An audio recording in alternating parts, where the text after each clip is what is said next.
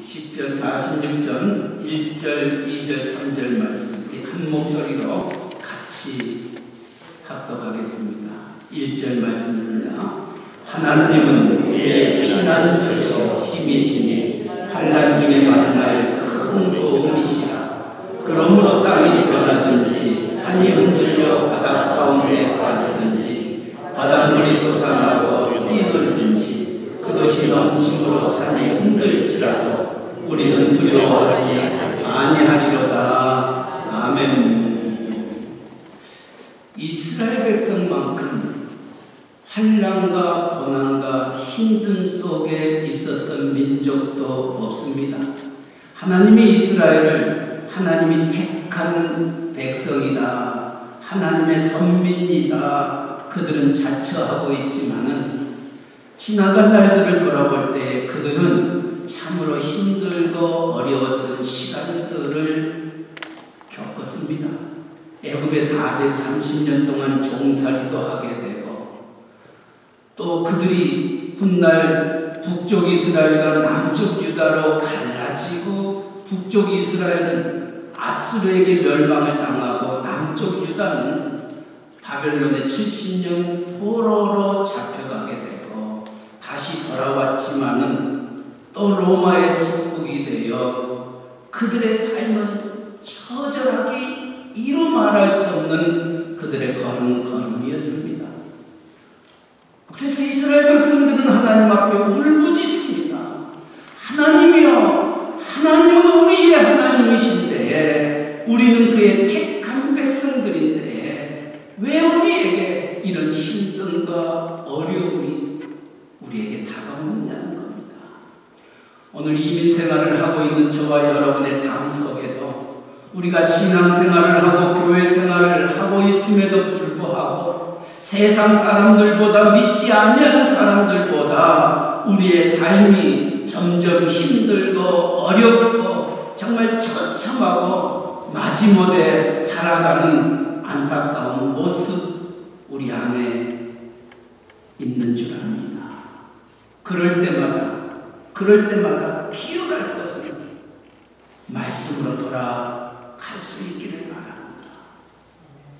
부시 대통령 후에 오바마 대통령이 젊은 나이로 미국의 대통령이 됐습니다.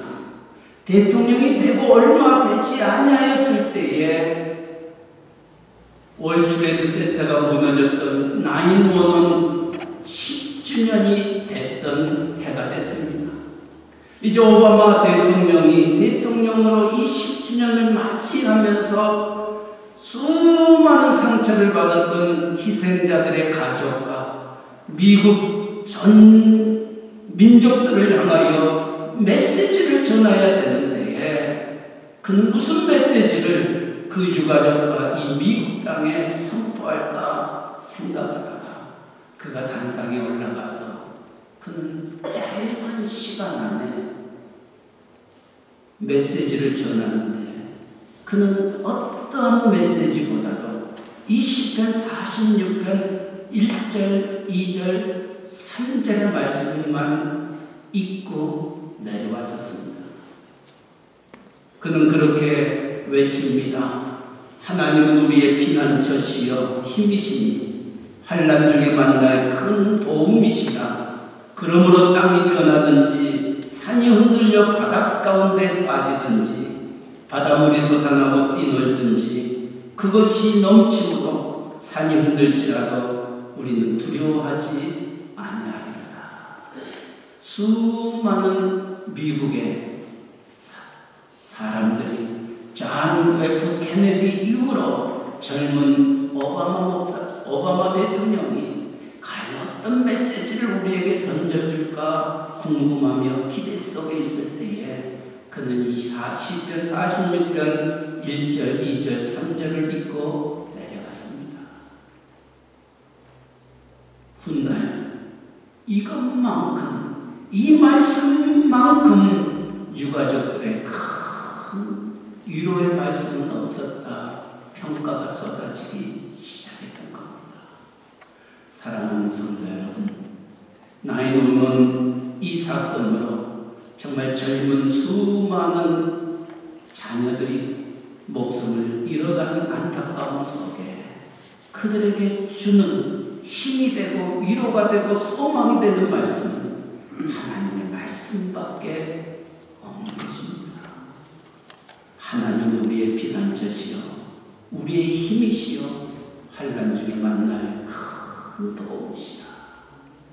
나이 노는 사건 때 이 메시지가 증거되었던 것처럼 1529년에 1529년에 마틴 루터가 종교 교육을 이루고 난 다음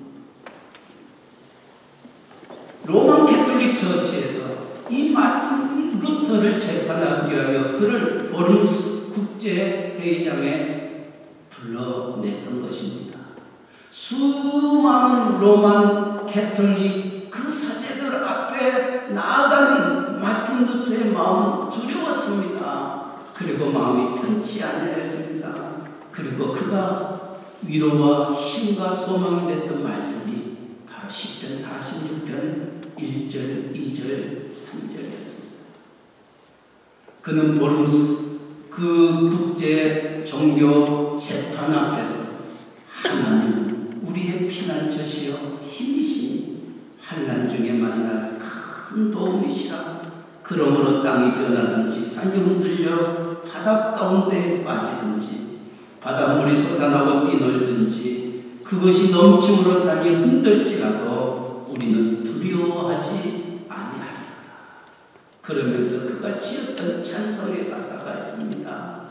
내 주는 강한 성이요 방패와 병기 되시 하나님은 나의 힘이시여 나의 요새시여 나의 소망이시여 나의 피난처 되시니 내가 누구를 두려워하리요 담대히 그들 앞에서 종교 재판을 받고 종교 계획을 이루었던 것입니다. 사랑하는 성도 여러분, 우리 이민 생활 속에 알게 모르게 교회 다니고 있음에도 불구하고 예수 믿고 있음에도 불구하고 원치 아니하는 일들이 크게 작게 우리에게 다가올 때에 말씀으로 돌아갈 수 있기를 바랍니다. 시편 46편 묵상하면서 암송하면서 그래 비록 내가 오늘 이런 힘든가 어려움 속에 있지만 내가 사망의 우치방 골짜기를 한다 할지라도 내가 두려워하지 아니할 것은 하나님은 나의 피난처시여 나의 힘이시여 환란 중엔 나를 건져줄 큰 도움이시다. 이 확신이 있게 되면은 우리는 흔들리지 아니하고 믿음 생활할 수 있을 것입니다. 오늘 시편 46편은 마음이 상한 자 들, 억울하고 힘들고 지쳐있는 모든 이들에게 힘과 위로와 소망이 되는 귀한 말씀입니다.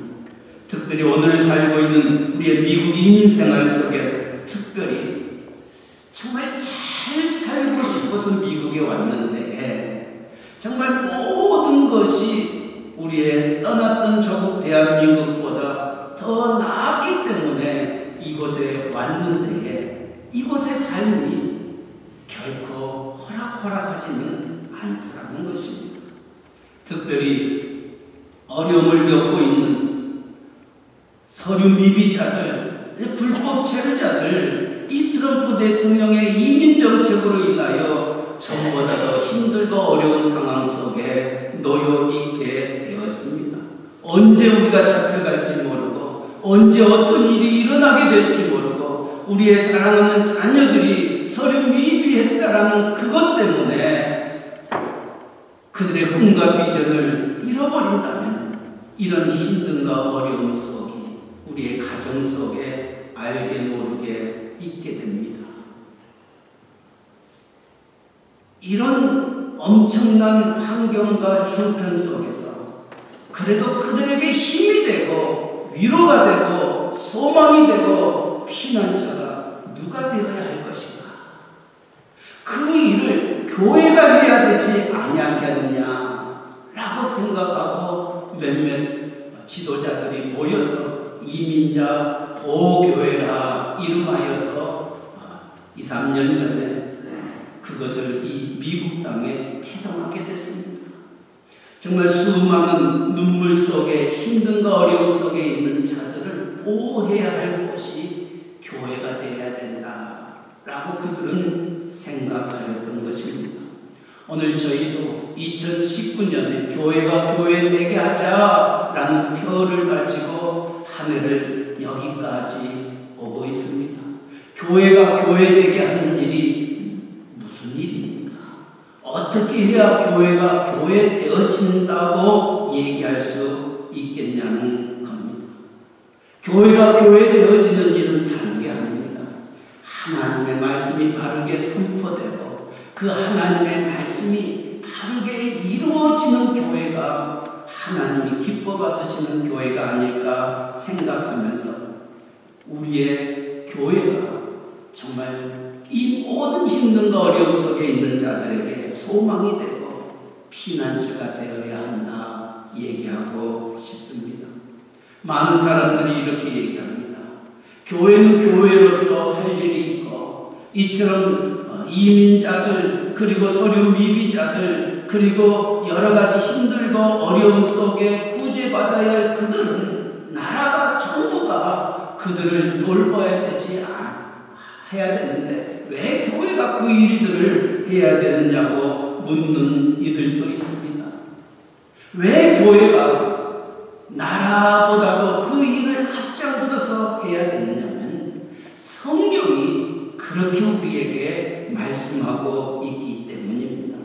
오늘 10편 46편 1절에도 하나님은 우리의 피난처시여 우리의 힘이시여 환란 중에 만날 큰 도움이시다.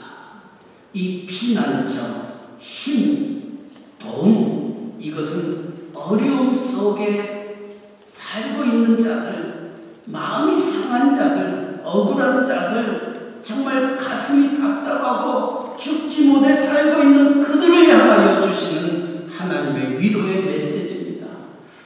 하나님만이 여러분의 피난처요 힘이요 여러분의 도움이십니다. 그런데 왜 교회가 피난처가 되고 힘이 되고 도움이 되냐? 교회 머리가 예수 그리스도이시기 때문입니다. 다시 말하면 하나님이 교회의 머리가 되시고 교회의 주인이시기 교회가 그 일을 감당해야 하는 것입니다. 성경은 여러 곳에서 그것을 말씀하고 있습니다. 레기를 통하여 신명기를 통하여 성경의 여러 가지 말씀 속에서 하나님이 우리에게 원하시는 것 바로 이 연약한 자 힘이 없고 누군가의 돌봄을 받아야 할 자들을 섬기는 것이 하나님의 일이라고 말씀하고 있습니다. 특별히 신명기 26장 12절 말씀. 우리가 하나님 앞에 드려진 11조 중에 3년째 되는 그 11조는 누구를 위해서 쓰여졌느냐 하면은 12절 말씀에 이렇게 기록되어 있습니다. 우리 같이 한번 읽겠습니다. 신명기 26장 12절 말씀. 셋째 곧 11조를 드리는 해에 내 모든 소산의 11조 내기를 마친 후에 그것을 레인과 객과 고아와 가문에게 주어 내 성읍 안에서 하라. 우리가 드려지는 11, 10의 1조를 누구를 위하여 쓰라고 말씀하고 있느냐면 바로 레인과 객과 고아와 가부에게 주어 그들이 먹고 배부르게 하라. 레이비는 그 당시 기업이 없는 자들이었습니다.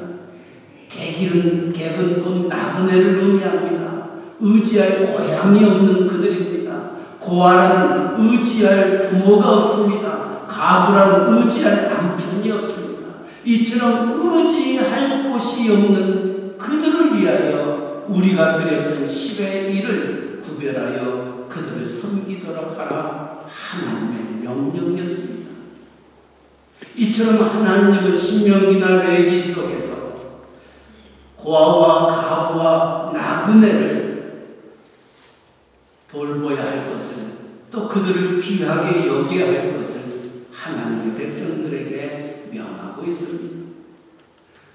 야고보 사도는 야고보서 2장 27절 말씀에 무엇이 참 하나님 앞에서 그가 기뻐하시는 경건일까? 우리가 신앙생활 하면서 경건이 도대체 무엇일까? 경건은 성경책을 내 가슴, 심장 가까이에 붙잡고 걸어가고 있는 것을 경건일까? 내가 뛰어다니지 않냐고 조심스럽게 소리 나지 않도록 걷는 것이 경건일까? 그러나 우리가 생각하고 있는 그 경건의 모습과 하나님이 원하시는 그 경건은 이렇게 차이가 납니다. 우리 야고보서 2장 27절 말씀을 우리 같이 한번 읽어봅시다. 하나님 아버지 앞에서 정결하고 더러움이 없는 경건은 곧 고아와 가부를 그 환란 중에 돌보고 또 자기를 지켜 세속에 물들지 아니하는 그것입니다. 하나님이 원하시는 정결하고 더러움이 없는 경건은 곧 고아와 가부를 그 환란 중에 돌보는 것. 이것이 경건이라고 얘기합니다. 고아와 가부 계속해서 말합니다. 의지할 부모가 없고 의지할 남편이 없는 그들입니다. 정말 돌봄이 필요한 그들을 돌보는 것이 경건인 때에 하나님이 더 기뻐 받으시는 경건은 언제 그 일을 이루려 하냐면은 환란 중에 돌볼 것을 말합니다. 환란 중에 돌본다는 것은 무엇을 의미하느냐면은 그 환란이라는 것은 그들에게만 있어 주어지는 것이 아니라 오늘 내게도 주어지는 상황입니다. 내가 힘들고 내가 어렵고 나도 내 가정 하나 이끌어가기도 힘들고 어려운 것이 환란 때 일어나는 일들입니다. 이처럼 힘들고 어려운 상황에 내가 처해 있다 할지 의지할 것 없는 고아와 가부를 돌보는 것이 하나님 앞에 정결하고 더러움이 없는 경건이라고 얘기하고 있습니다. 그렇다면 오늘 우리의 주변에 우리를 향하여 손을 내미는 자들, 우리를 향하여 도와달라고 살려달라고 몸부림치며 외치고 있는 그 자들을 외면하지 아니하고 그들에게 손을 내미는 것이 교회여야 합니다. 그러기 때문에 교회는 이처럼 이민 생활 속에서 여러 가지로 힘들고 어렵고 지쳐있고 정말 추방의 위기에 놓여있는 자들에게 손을 내밀 수 있는 것, 그 교회만이 그들의 피난처가 되고 그들의 소망이 되고 그들의 도움이 되고 그들의 힘이 되어야 한다는 것. 이것이 이민자 보교회가 해야 할 일인 것입니다. 사랑하는 성도 여러분, 하나님은 하나님의 백성을 세우시고 그들을 통하여 하나님의 공동체를 이루시면서 너희가 만일 내게 주신 이 명령과 이 마음을 갖지 아니한다면 내가 너희를 심판하시겠다 말하고 있습니다. 이사야서 10장 1절 4절에는 이렇게 우리에게 말씀하고 있습니다. 우리 같이 한번 읽어보겠습니다. 이사야서 10장 1절 4절입니다. 같이 읽습니다. 불의한 법령을 만들며 불의한 말을 기록하며 가난한 자를 불공평하게 판결하여 가난한 내 백성의 권리를 박탈하며 과부에게 토색하고 고아의 것을 약탈하는 자는 화 있을진저 벌하시는 날과 멀리서 오는 환란에 너희가 어떻게 하려느냐 누구에게 도망하여 도움을 구하겠느냐 너희의 영화를 어느 곳에 두겠느냐 포로된 자 아래에 부풀려 죽임을 당한 자 아래에 엎드려질 따름이 있느냐 그럴지라도 여호와의 진노가 돌아서지 아니하며 그의 손이 여전히 퍼져 있으리라 무슨 말입니까? 가난한 자를 불공평하게 판단하고 가난한 내 백성의 권리를 박탈하고 가부에게 토색하고 고난 고아의 것을 약탈하는 자는 화 있을진저 벌하신 날이 있다는 것입니다. 다시 말하면 하나님이 우리 주변에 두었던 힘없고 연약하고 우리를 필요로 하는 자들을 외면하고 그들의 마음에 눈물을 흘리게 하는 자 화 있을진저 하나님의 심판과 하나님의 진노를 피할 수 없음을 말씀해 주고 있습니다. 사랑하는 성도 여러분, 하나님은 저와 여러분에게 바로 이렇게 말하고 있습니다. 우리가 이 세상에서 교회가 교회되기 위해서 어떤 일을 행하여야 할 것인가? 교회에 모여서 예배 드리는 것도 중요합니다. 정말 성도들과 교제하며 떡을 떼며 찬양하며 기도하는 것 귀합니다. 그러나 한 걸음 더 나아가 정말 우리의 주변에 우리를 필요로 하는 자들에게 우리의 손을 내밀어 그들을 일으켜 세울 수 있고 그들의 필요를 채워줄 수 있는 자가 될 때에 그것이 교회입니다. 그것이 하나님이 원하시는 신자의 삶인 것입니다. 주님은 하나님의 백성들에게 그렇게 말합니다. 마태복음 25장에 보니까 주님이 이 세상 끝날 때 오셔서 우리를 심판하시겠다. 어떤 사람은 오른편에, 어떤 사람은 왼편으로 나누겠다고. 그리고 오른편에 있는 자들을 향하여 내가 창세전부터 너희를 위하여 예비해 놓았던 이 모든 것들을 누릴 것을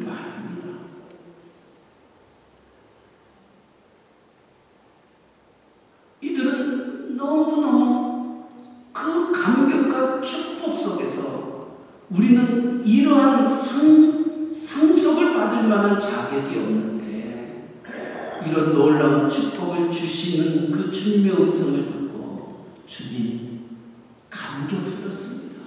주님 감당할 수 없습니다. 우리가 왜 이런 축복을 받아야 됩니까? 이때 주님이 이렇게 말합니다. 너희는 내가 줄일 때에 먹을 것을 주었고 너희는 내가 목마를 때 마실 것을 주었고 내가 헐벗고 있을 때 내게 입을 것을 주셨고 내가 옥에, 옥에 갇혀 있을 때에 너희가 나를 찾아와 주지 않았느냐 오른편에 있는 강도가 오른편에 있는 자들이 깜짝 놀랍니다 언제 우리가 주님 줄이실 때 먹을 것을 주었고 주님 목마를 때 마실 것을 주었고 주님 헐벗을 때 우리가 옷을 주었고 주님 옥에 갇혔을 때 우리가 언제 찾아갔습니까? 주님 이렇게 말합니다. 마태복음 25장 40절 임금이 대답하여 이르시되 내가 진실로 너에게 이르노니 너희가 여기 내 형제 중에 지극히 작은 자 하나에게 한 것이 곧 내게 한 것이라.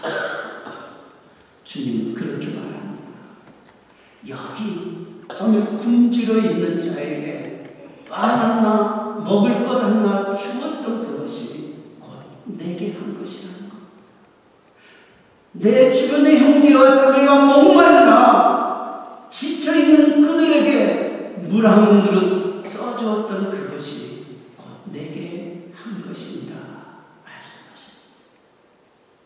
사랑하는 성도 여러분, 왜 교회가 이민자 보호교회라 이름하여 주변에 힘들고 어려운 자들을 돕기를 원하는가? 이것이 주님이 원하시는 일들이고 또 주님이 우리에게 명하신 명령이기 때문에 교회가 그 일을 감당하여야 합니다. 그렇다면 교회가 뭐냐는 거예요. 여기 세원양교회가 있습니다. 세원양 우리가 이곳에 와서 예배드리는 이곳이 교회입니까? 아닙니다. 교회는 정말 내가 예수님을 사랑합니다. 주님은 나의 힘이십니다. 나의 생명이십니다. 나의 소망이십니다. 라고 고백하며 모여 함께 예배하는 여러분이 바로 교회입니다.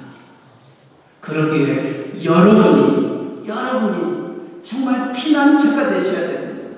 여러분이 정말 많은 사람들에게 힘이 되고 정말 그들에게 큰 도움이 되어야 됩니다. 이것이 10편 46편 1절의 말씀입니다.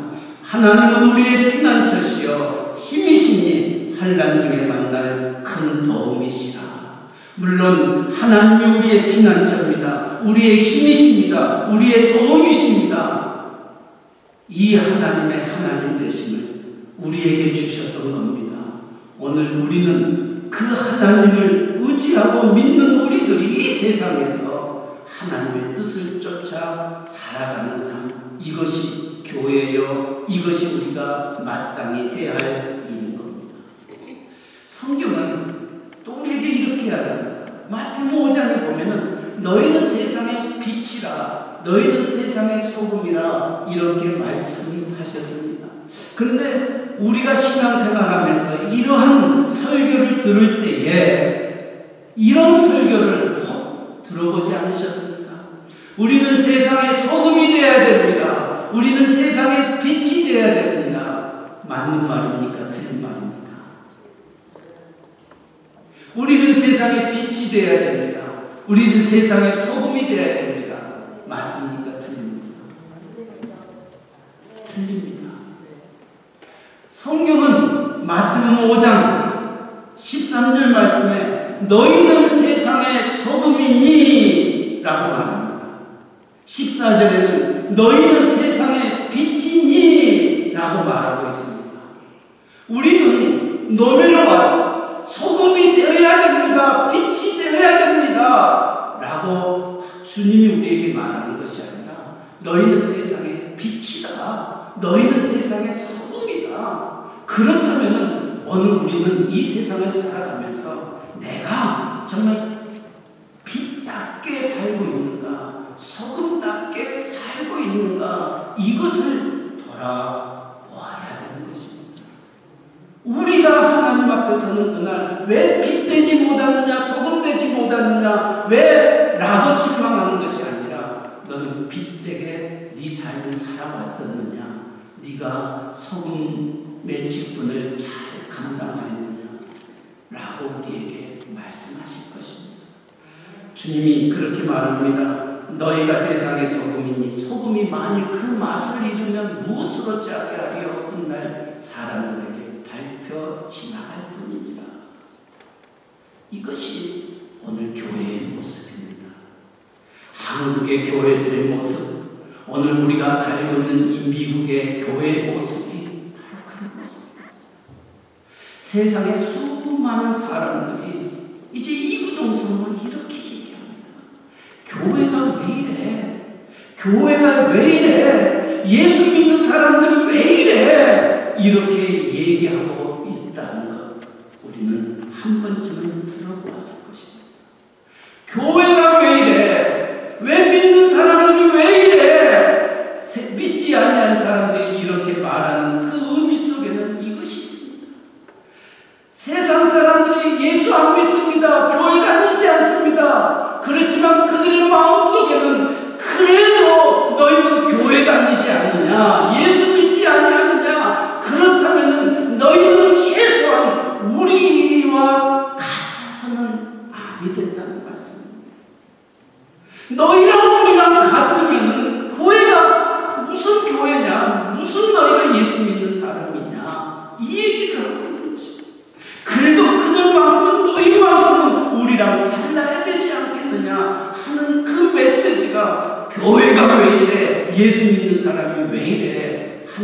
메시지 속에 들어있는 것입니다.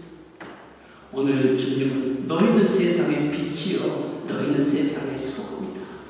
소금이 그 맛을 잃어버리면 무엇으로 짜게 하려 훗날 사람들에게 밟힐 뿐이니라 말씀하고 있습니다. 오늘 교회가 피난처가 되어야 되고 그들에게 소망이 되어야 되고 그들에게 힘이 되어야 되고 그들의 눈물을 닦아주지 않는다. 훗날 주님이 우리를 향하여 난널 위하여 피 흘려. 내 모든 것들을 너에게 주었구만. 넌 날 위하여 무엇하느냐? 하는 물음 앞에 부끄러울 것입니다. 그러나 하나님은 우리의 피난처시여 우리의 힘이시니 환란 중에 만날 큰 도움이시라. 어떤 환란과 힘든가 어려움이 두려워하지 힘들고 어려운 이 시기에 그들을 향하여 하나님, 하나님만이 우리의 힘이시여, 우리의 도움이시여, 그 하나님을 믿는 내가 그 하나님과 더불어 내가 이 세상에 빛이어서 그들에게 힘과 위로와 소망이 되어지도록 하지만 그리고 그와 같은 삶을 이루어 우리의 주변에 눈물을 닦으며 그들에게 힘과 소망이 되고 그들에게 내일을 줄 수 있는 우리 교회, 우리 온 성도님들 되시기를 주님의 이름으로 간절히 축원합니다. 사랑의 하나님 아버지, 하나님은 우리의 피난처시여 힘이시니 환란 중에 만날 큰 도움이시라. 그러므로 땅이 변하든지 산이 흔들려 바닷 가운데 빠지든지 바닷물이 솟아나고 뛰놀든지 그것이 넘침으로 산이 흔들지라도 우리는 두려워하지 아니하리로다 고백했던 시편 기자의 고백이 오늘 이 말씀을 가슴에 안고 우리도 흔들리지 않냐고 주의 말씀 붙잡고 환란 속에 고아와 가부와 나그네를 돌아보며 지쳐있고 힘들고 정말 아픈 내가 오지 못하고 주저앉는 신령 신령들 그들에게 내 손을 내밀 수 있는 저희들 되게 하여 주시옵소서 그리하여 하나님이 우리를 향하여 행하시고자 원하시는 구원의 역사를 하나님의 사랑의 사역을 함께 이루는 우리 모두가 되게 하여 주옵소서 예수님의 이름으로 기도하옵나이다. 아멘.